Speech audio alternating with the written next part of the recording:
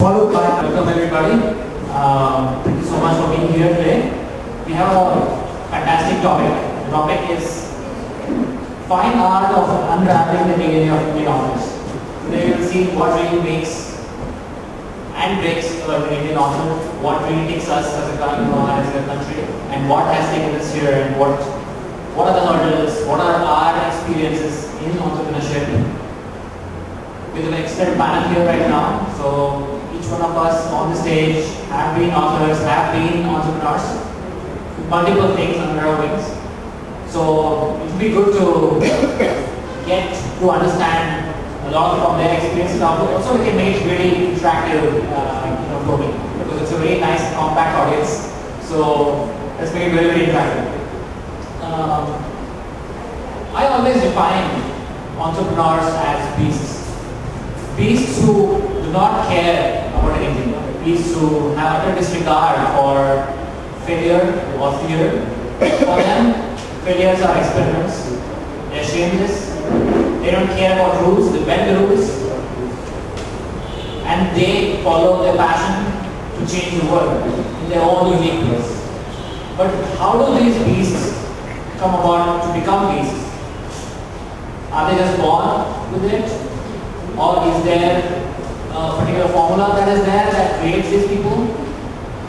I would like to start with that thought, you know, get uh, you know, the thought from uh, uh, Sivadas to start with. From your experiences, what do you think is a you know, a beast? And how do you become a beast? Uh, Thanks, Vishwas. Uh, Well, I don't think I'd like define myself as a, well, maybe a beast, but a gentle beast. You know, uh, but remember I started entrepreneurship uh, in an era which was about completely different from what you see today. This is about uh, in, the mid 80s, 87 to be precise. A very, very different uh, environment that existed. We didn't have the kind of opportunities that you have today. Entrepreneurs were few and far between. First generation entrepreneurs. I was first generation entrepreneur. In fact, I still remember the look on the, my dad's face when I told him I'm putting a nice coaching job and getting into entrepreneurship. Look was one saying, are you having one man? Uh, well, to answer your question, therefore, yes, I had rebellious streak in me. Uh, I mean, without, without uh, the will and the ability to think a little differently, and the courage of conviction, more importantly, courage of conviction to follow that. And whether it's, it's, it's 25 years ago or whether it's today, I think the key issue is whether you have the courage of conviction to follow your dreams. Uh, so to answer your question, yes, I, I think there is a certain amount of rebellious streak in us, but more importantly, I would define as whether you have a dream. And you have the courage of conviction to actually follow that dream? Because mind you, uh, you're not going to achieve success in a day. It, it's, it's going to take time, it's going to take effort, it's going to take persistence, it's going to uh, uh, a whole, take a whole lot of energy. And therefore, uh, a beast, yes, but also I think a dream. Yeah, uh, I'll give you my take on this. I agree that uh, it is, uh, but I think the sense of uh, entrepreneurship is innately universal. It's not so much, you know, across cultures, everybody, uh, the heart of hearts, really just wants to do his or her own thing. But is that allowed? No, it's not. A lot of factors that create upon us, right from parents to education the kind of cultural conditioning and stuff like that. Uh, I'm a classic example of that. So uh, I come from a Brahmin family, right? So where the lines are laid out very, very clearly, even more so than in many other communities. So it's very straightforward education leading to uh, engineering or law or whatever, and then a job. That's about it. So I went through that, and somewhere uh, along the way, I started uh, realizing that I am more right brain than left brain, and uh, started writing and dabbling in the arts and stuff like that. But uh, very cautiously, uh, I used to archive my pieces of art, my pieces of writing for personal consumption. Right? So consigned to my archives.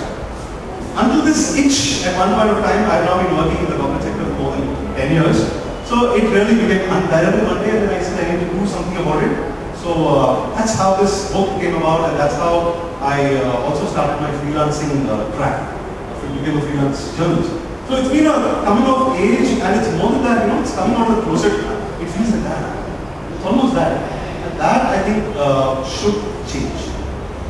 So there are more factors that are uh, um, what you say, hindering the making of an entrepreneur than those that are aiding.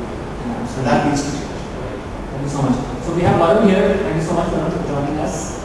Um, initially, before you came, we were talking about how we find entrepreneurship peace. We basically, you know, against all odds and become, are the rules and someone, right? So what do you think, you know, what is that makes an entrepreneur? What is the DNA of an entrepreneur? And how do you start up, you know, your first, what is the impetus to even start?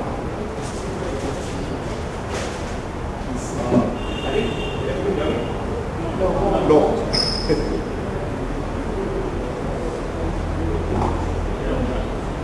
no. Um, I think uh, uh, the whole organization scenario in India has changed in the last uh, five years.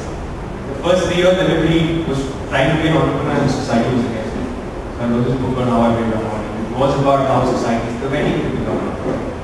The opposite is happening now. The parents are now pushing you to become an entrepreneur. And they're saying, no, go out and become an entrepreneur.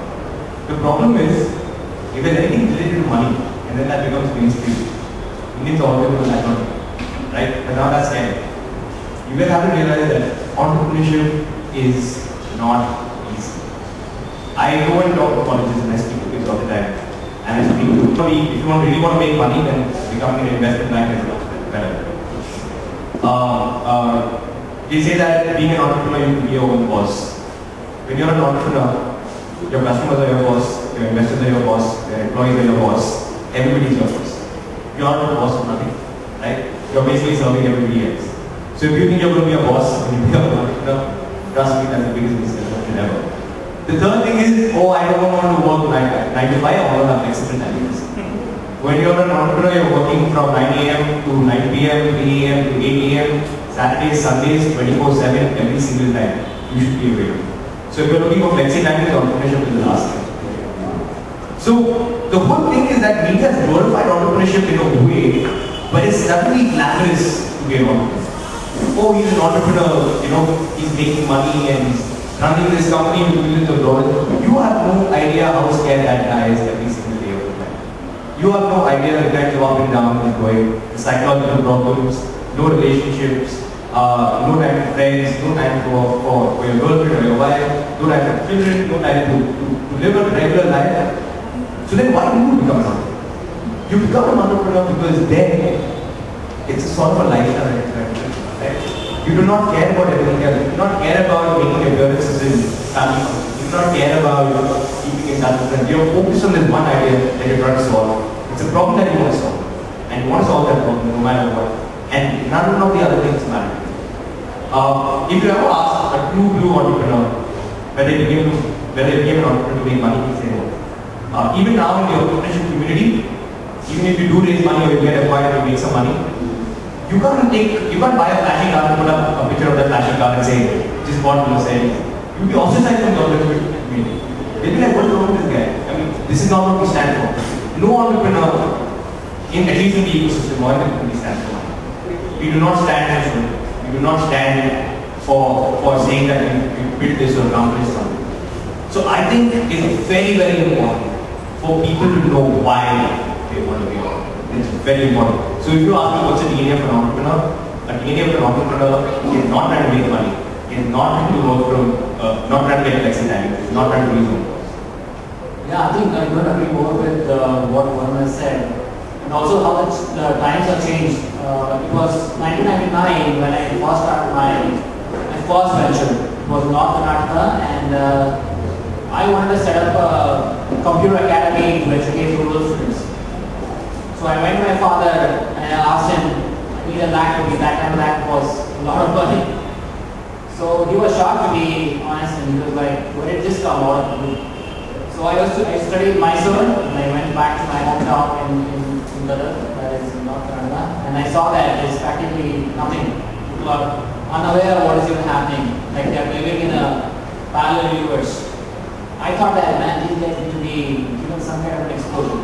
There was no internet center, nothing. So I, it was me who went, and got the first internet line in my hometown. You know, and uh, we in the process we uh, educated more than uh, 200, more than 300 students. You know, and today they're all some, something. You know, they all came from rural community. That back then everybody opposed me to start that. And come to 2009, I was bankrupt when I was about to get married. One of my startups had failed, but then my father-in-law looked at me and the way my attitude was, what I could do, and he said, no problem. I, I give you my daughter's hand, you know. So that, that I feel is the beginning of a new era in India, where a middle class man is giving his hand to an entrepreneur who's bootstrapped and who's bankrupt. Now we are. Yeah, I, think it's very important. I think you got lucky there. but I think uh, I just, just want to add one more thing. It's very important to draw that line between what is entrepreneurship and what is business. Right? A business is started with the sole reason to make profit at the very start. Right? You invest a certain amount of money and you want to get profitable from the first month onwards. Entrepreneurship is where you're trying to solve a problem, right? And you're trying to solve a problem by building a product, and you're not focusing on money, at least for the first time. So all this talk about none of these companies are profitable. They don't want to be profitable. They're trying to solve a problem. Did you ever think uh, apart from the app and a cab? So you can't ask questions like Ola is not profitable, they're not they're not the last in this. They're not trying to be profitable, they're trying to solve a problem. And they're trying to solve a problem on that scale. And in a country with so many people, the idea is not to be initially. The idea is to build that product, solve that problem. And once you do, there'll be so much money out there that you won't even be able to count it. So it's very important to know what is a business and what is a product. A business is starting a business with the sole reason to be profitable from day one. Entrepreneurship, you, you have to be profitable eventually, but that's not the main aim in it. Eventually, solve a problem by doing. Let me, uh, let me just take on what Varun said. I don't entirely agree with. I agree with to a large extent. Uh, but yes, I think, uh, uh, you know, when Varun says that you're there out to solve the problem, absolutely. You're not there just to make money. However, the long-term uh, viability of any business, and then let's take, uh, lots of, let's, let's take the dot-com business. I don't know whether you, you remember the dot-com era. Same thing people talk about in the and let's solve the problem. Of course, internet was very early in those days. Your infrastructure was nowhere close to what it was today, and all of that. But somewhere at some point in time, uh, a business needs to be sustainable. Now, that does not mean that you should not have a vision. As he rightly says, you start with a vision. And one of the things, and uh, I make a prediction that you will have a bloodbath in the internet businesses in India. Think, I it's, it's a no-brainer. There will be a lot of companies which actually start out wanting to solve a problem for reasons either to do with the fact that uh, uh, they don't have uh, they don't have a vision, or they're not they're not persistent in their efforts, or, or they fail to get up after they have failed a couple of times, or they fail to learn from experience. So you're going to have a bloodbath in the business as you, as you, as you go forward. But having said that, uh, it is important for any entrepreneur to have a consistency of purpose. I can talk from my own uh, uh, experience over the last 25 years or so. Uh, one, one of the big learnings that I've had, when I got into business, as I said in my opening statement, conditions were not what it is today. Uh, if you were to go to any college or in any, any uh, forum and say how many people really want to be entrepreneurs, you would have one or two, as I said, it's the odd guy out who will stand and say you want to be an entrepreneur. And, and that guy really, uh, really stood out on crowd. Today it's the other way around. Uh, but I've, I've been going around after I exited in 2012, I've been going around giving lectures. I asked this question of, of people in colleges. You have three-fourths of the, of the college saying they want to be entrepreneurs. Fact is most of them will not get into entrepreneurship, but there is an intention. So, so, so things have changed. When I got into business, uh, one, I lacked focus. All I knew was I wanted to be an entrepreneur. Vaguely I said, yes, I will get into the service business. Market research is something that, that didn't require so much of investment. I was just generation entrepreneur. My father had retired. Uh, we had no money. I didn't put up savings for the first couple of years that I actually worked in business. Uh, and therefore service businesses were what uh, I thought was viable. However, when you get into these service businesses and you don't have money rolling in, you think that yes, let's get into this other business. So we got into financial services. let's get into training. So we got into training. They said, uh, you know, uh, in fact, computer-based training in the 85 is not heard. We, we actually ventured into that business. But one of the key learnings that I've had is the fact that you need, one, a consistency of purpose, and two, a focus on what you do.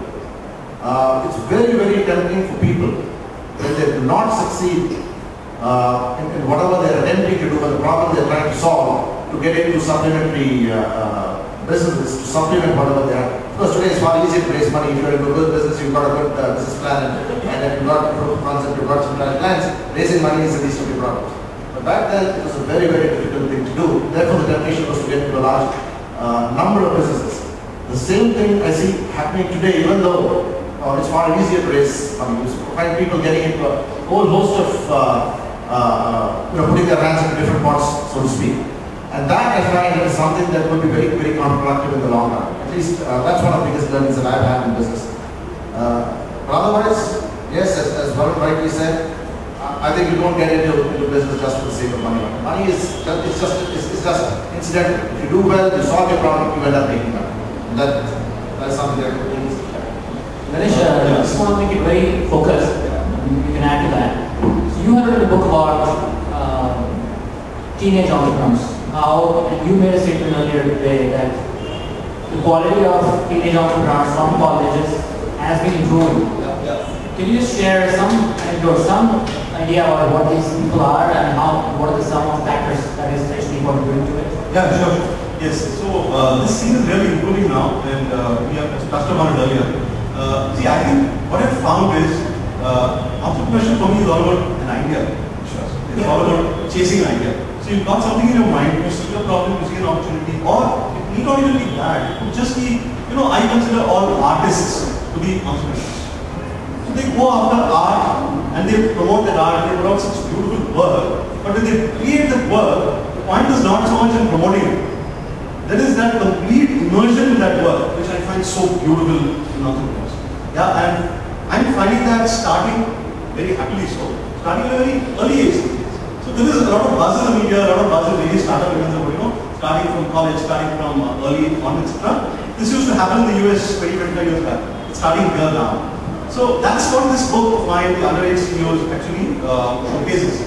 So I've gone around speaking to, uh, I've spoken to about 100 uh, different entrepreneurs from different parts of India, and I'm finally picked people from diverse fields. Now that's a heartening fact. There are lots of people who are building uh, apps for the sake building apps, delivery platforms, e-commerce is a big thing poster boys, right?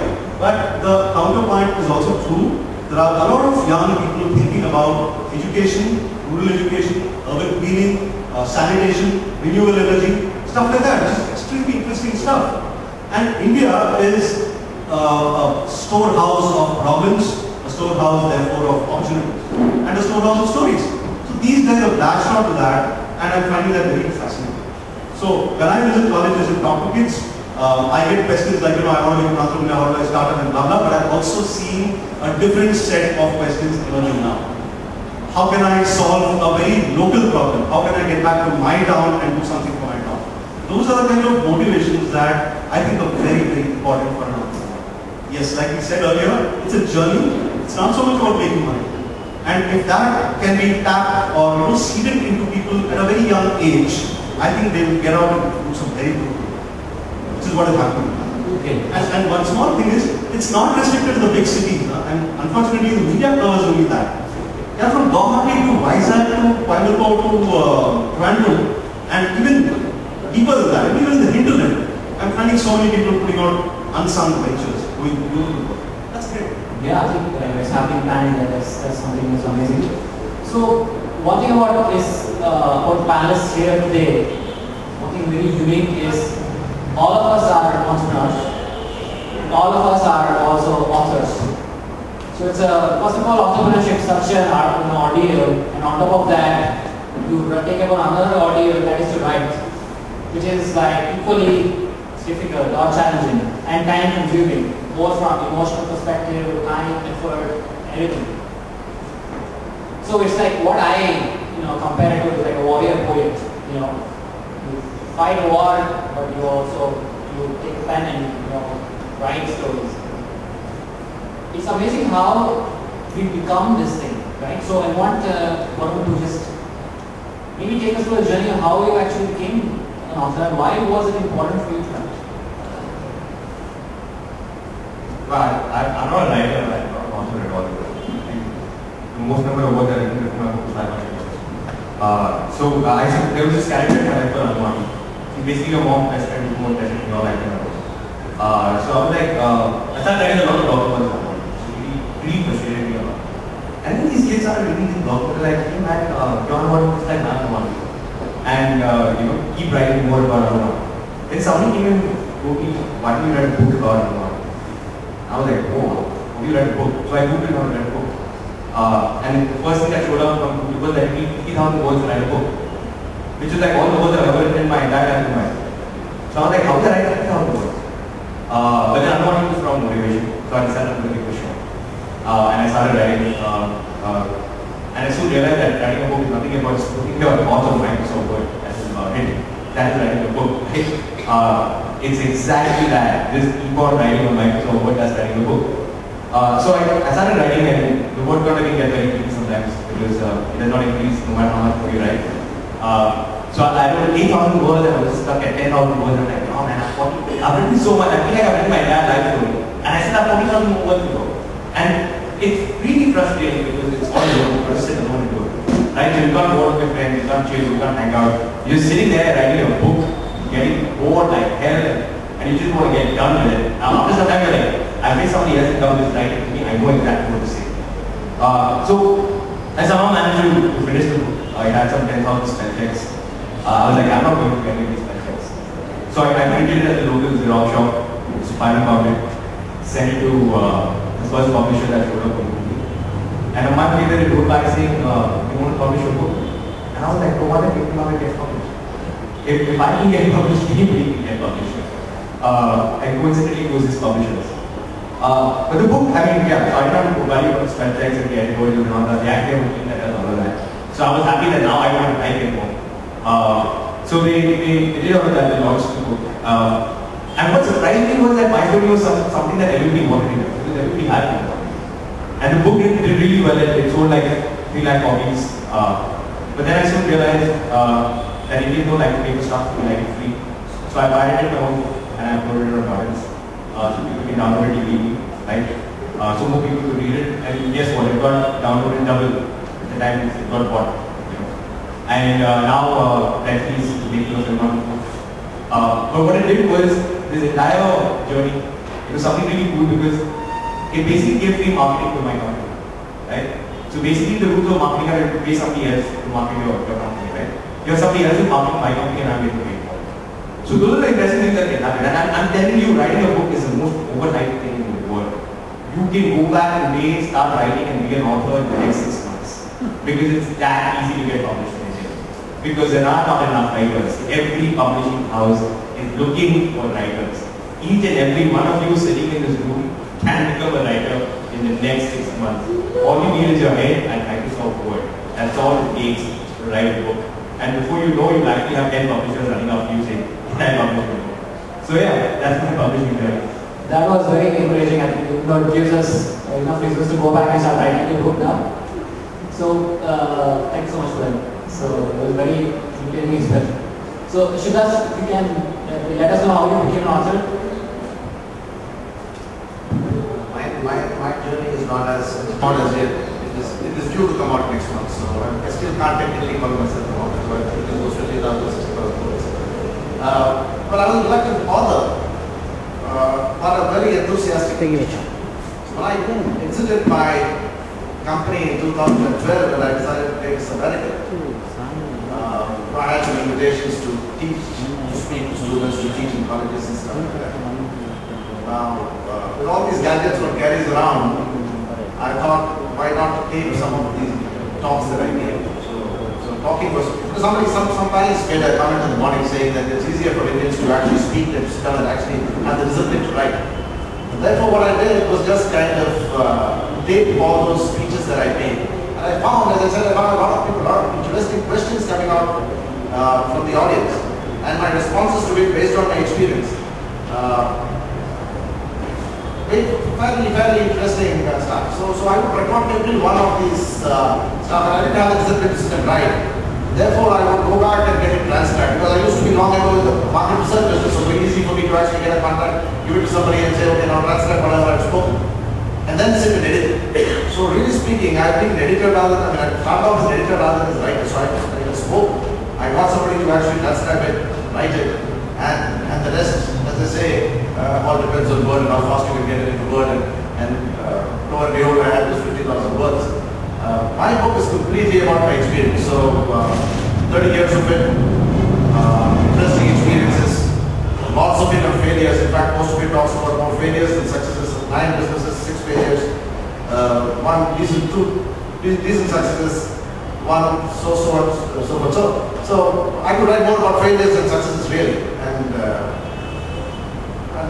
say, I, I leave it for for the rest of you to actually read the book as and when it comes out. Please pick it up and see whether it makes me interesting reading. Dinesh, you want to? Yes. to take us through your journey? Yeah, sure, sure.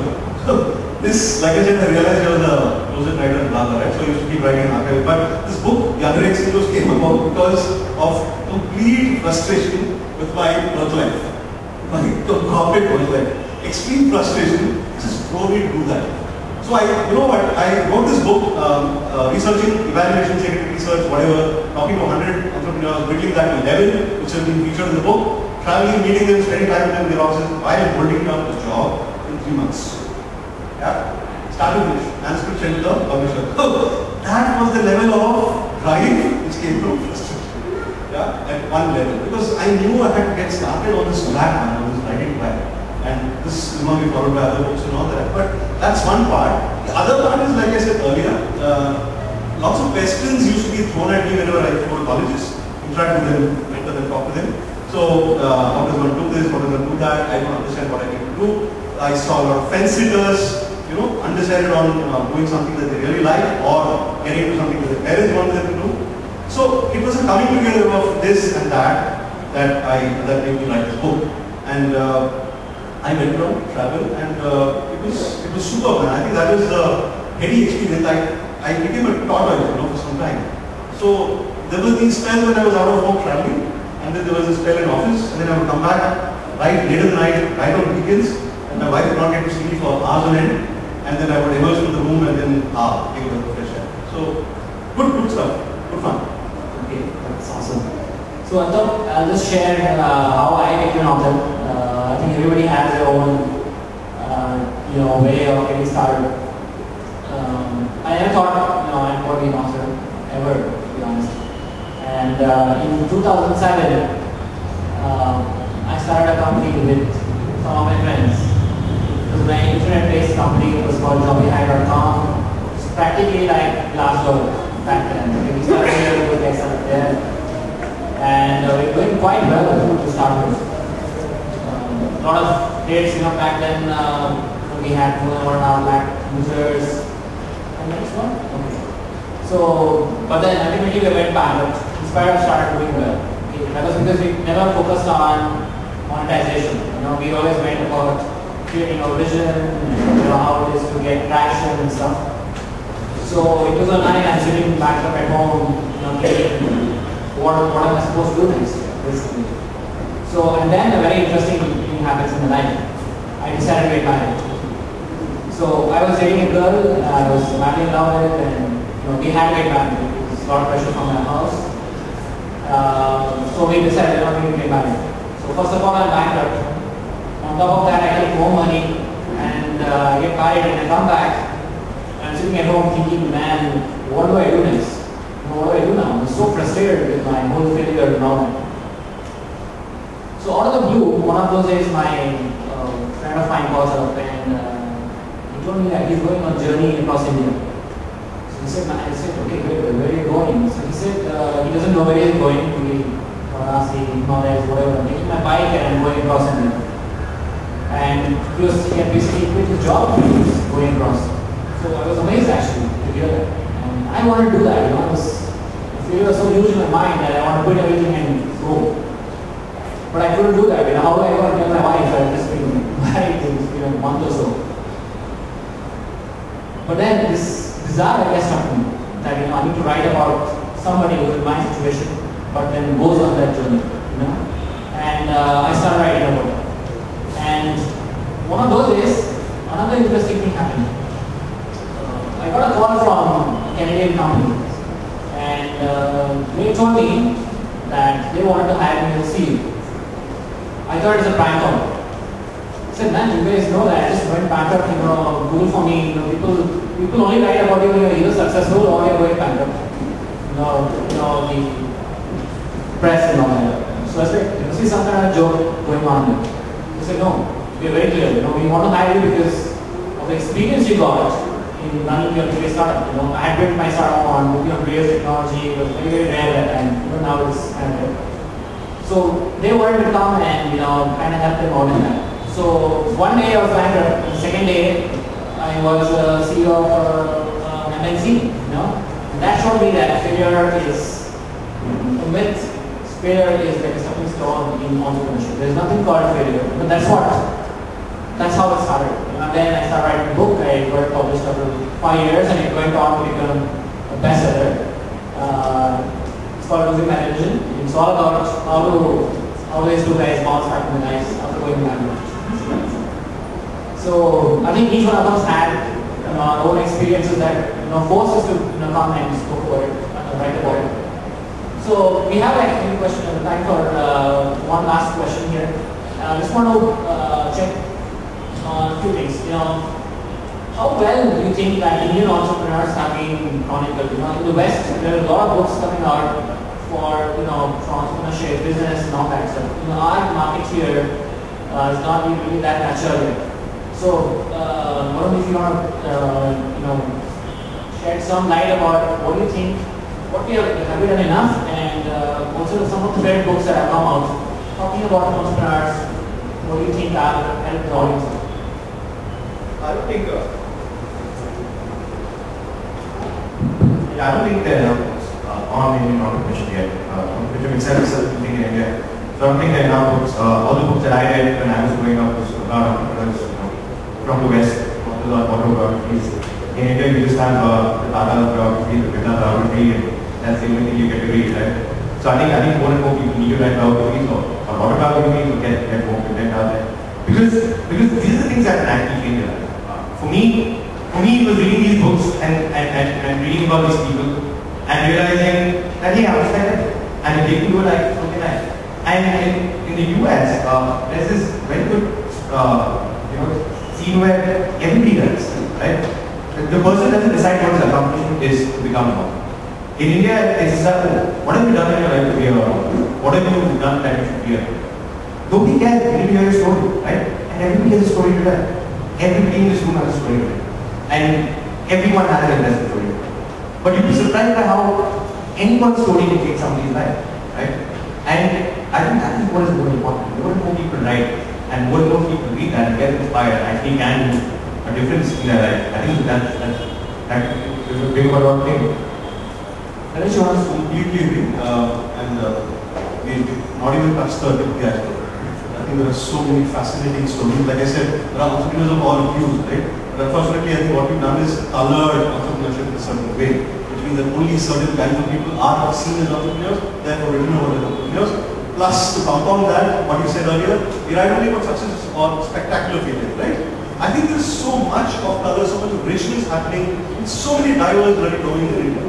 There's no such country uh, elsewhere. So, the quick and easy answer to your question is yes, we need to go out there, find those stories, and they're all there. We just have to open our hearts, senses, is it? right. And, uh, and, and that, that's going to change, that's going to be a game changer. It's Yeah, you know, yesterday uh, in, in, in Chennai there was this TiEcon conference, uh, yesterday and today. And yesterday was the awards ceremony. Uh, there were uh, uh, there was a business historian who was invited to actually be the compere, and he was uh, viewing the entire business history for the last 400 years. This is pre-British uh, business history in Chennai, along with with the awards function. So so. Uh, and this, this was very, very revealing because there are people you have not heard about. And the reason I talk about this is because there are people you have not heard of, I don't know, for example, that the Madras Harbour, and he is an entrepreneur himself, Madras Harbour uh, was built between 1900 and 1915 by an American gentleman who used to work in Chennai. But that's not the amazing thing. When he retired in 1914, he gave a business plan which spanned right up to 1975. And believe you me, uh, this gentleman, this historian, has tracked this and said that is exactly the way in which the Madras Port played. Because I said Madras Port is going to be, uh, is going to kind of fill out by 75, you need to go to need to go to surrounding places to, to expand and stuff like that. Now here was a guy who had tremendous vision. The awardees at that function span not just technology, technology of course is, is the thing today, a lot of people from the technology area, but also span, in fact the, the lifetime entrepreneurship award was given to, to, to Nalli, uh, and he spoke in that, English, he actually spoke in that. Fascinating story. You, you, you you, you look at the chettiars, in fact one of the stories that he related was about the chettiars in, in uh, uh. Fascinating story of how they got into banking, how they got into the timber trade, how they got and that is really the history of entrepreneurship. So we are seeing a space today, but it's not that it started today. It's existed for, for the last so many, so many years.